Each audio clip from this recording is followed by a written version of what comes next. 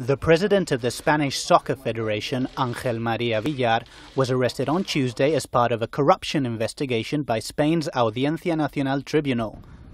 The court, which handles high-profile terrorism, corruption and drugs trafficking cases, ordered the arrest of Villar and his son Gorka, the federation's vice president, on a wide range of corruption charges including forgery, criminal mismanagement and misappropriation of funds.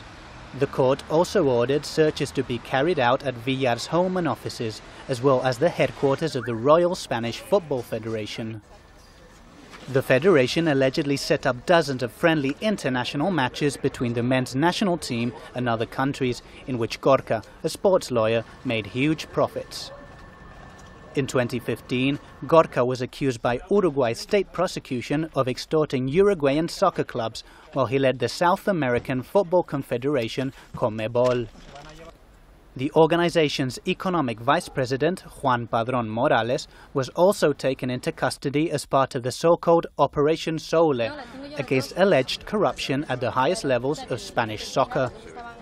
Villar has headed the governing body for Spanish soccer since 1988, while his son Gorka was the general director of CONMEBOL between 2014 and 2016.